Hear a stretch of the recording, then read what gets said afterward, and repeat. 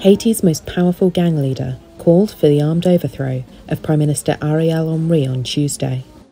Jimmy Cherizier, who is known as Barbecue, led his group of armed men on a march through Port au Prince, urging others to follow suit in the latest escalation in a country undergoing a humanitarian crisis.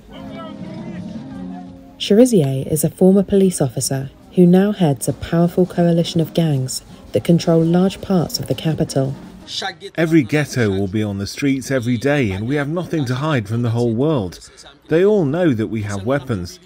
Not only do we mobilize to fight Ariel Henry, we also mobilize the people.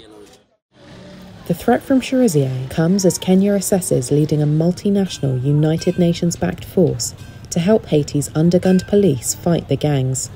Haitian gangs frequently engage police in gun battles and profit from activities such as extortion and drug trafficking. They have grown in strength since the 2021 assassination of President Jovenel Moise. The assassination created a power vacuum, with Henry governing on an interim basis since, with a pledge to hold elections once security is re established. The UN estimates the outbreak of violence in recent weeks has forced the displacement of more than 19,000 people from Port au Prince.